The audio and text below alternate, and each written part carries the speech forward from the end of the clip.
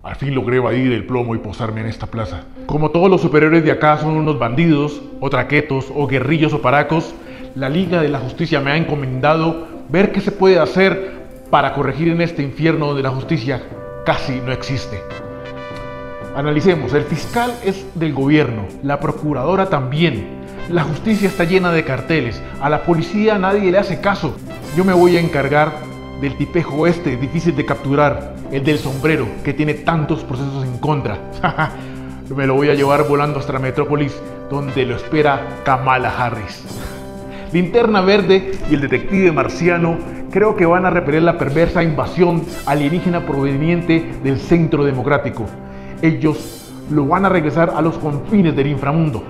A Batman le corresponderá erradicar a todos esos chimbilás que están colgando de las paredes del Congreso, vampiros de esta nación. Aquaman deberá sacar los tesoros del galeón San José y ese dinero será donado a la Cruz Roja. Mientras tanto, Flash atravesará las paredes de Hidroituango y allí va a capturar a todos esos bandidos de EPM. La Mujer Maravilla tendrá que ir a Venezuela y traer a Ida Merlano para que cante todo lo que sabe. Acá todos son unos incapaces de controlar y derrotar el crimen y la corrupción. Con decirles que lo más parecido a un superhéroe es el General Naranjo. Definitivamente, esto es un trabajo para Superman.